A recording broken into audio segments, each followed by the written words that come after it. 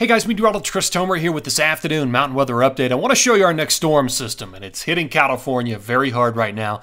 This is that major storm system with moderate to strong intensity atmospheric river contribution. So there's a lot of moisture with this thing just running right into California. Very heavy rain from Los Angeles all the way north to San Francisco now, and heavy snow for the Sierra from Tahoe all the way down to Mammoth. Mammoth will probably get the biggest grand totals out of all of this, but that is the next storm system. Let me take you over, over to my bullet points here. Here's what I'm seeing this afternoon. So this current storm cycle will continue until 212, and then after that, I'm going to show you the jet high pressure starts to build in across the west. So that next storm hitting California very hard today and also tomorrow, 2 5. Then that storm breaks loose and moves into Utah, Idaho, Wyoming, Montana, Colorado, and New Mexico 2 5 through 2 8 with very heavy snowfall. There's a smaller storm that will come in very quickly and almost mesh with this storm, 2829, and that rolls right through Utah, Arizona, Colorado, and New Mexico. And then there's that fast weak storm system for the northern tier that's in now in the forecast. That's 210 through 212, and that'll spread snow from the Pacific Northwest to BC, likely down through Montana, Idaho, Wyoming, probably brushing Utah, and then kind of rolling down into Colorado as well. So we'll look at all that in this uh, forecast update. I want to take you back and show you water vapor satellite imagery this afternoon. There's that uh, powerful area of low pressure and extremely rich, rich flow right in there. Look at that orientation right up against the Sierra. Um, lifting that air up, really just squeezing out a ton of, of rainfall at lower elevations and snow at higher elevations. Um, so behind it, what we have is another storm system, but this one is going to rotate up into Alaska and then eventually Canada, and it will send down some energy and help to create that, that northern tier storm very late in the forecast. Let me show you how all this plays out. So this is the, uh, the latest forecast radar and satellite. That's the current situation right now at about 5:30 p.m. Storm hitting California. Watch what happens tomorrow morning. Starts to send some moisture out into the interior. Here's two 7 in the morning, right here. Widespread snowfall.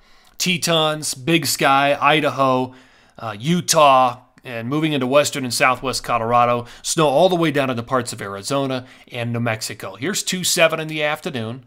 Widespread snow. You can almost see it. You see that additional energy kind of rotating down.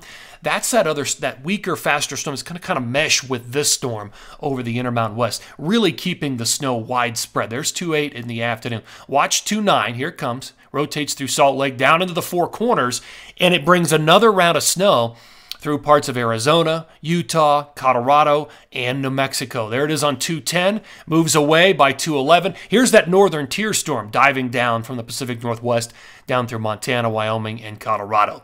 And that's going to do it for the period. So there is still a lot of action on the board that has yet to fall uh, across the west. Here's the jet pattern. So this is 2 5 tomorrow.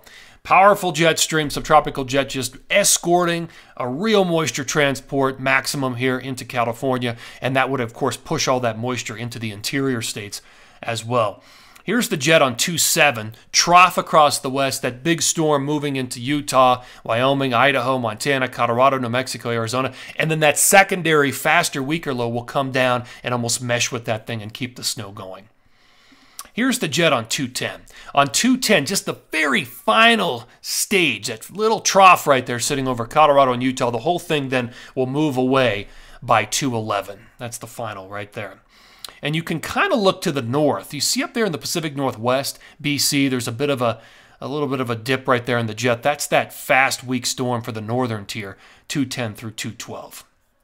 Let me take even further down the road. So this is 213. At this point, you're looking at some high pressure ridging across definitely the west coast and parts of the interior with the jets starting to weaken and move away from Montana, Wyoming, and Colorado. All right, let me show you the, the latest uh, snow numbers here. So by period, rest of today through tomorrow, it's mainly tomorrow, 2-5, where the snow hits the Wasatch and the Tetons, and we're looking for those um, looking for that kind of accumulation. I've got four to eight for um, the span of the Wasatch and potentially six to 10 for the Tetons.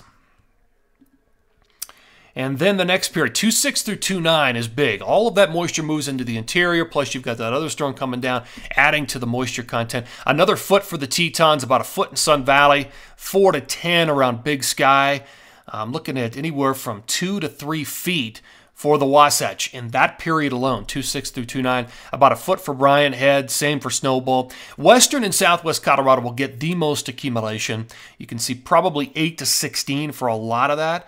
Uh, but potentially up to two feet down in the San Juans. A lot less accumulation on the Continental Divide in Summit County, looking for probably four to maybe eight inches. Uh, Loveland, Breck, Keystone, Winter Park, Eldora, A Basin about 4 to 8 for those areas. Okay, one more time period. This is 210 through 213.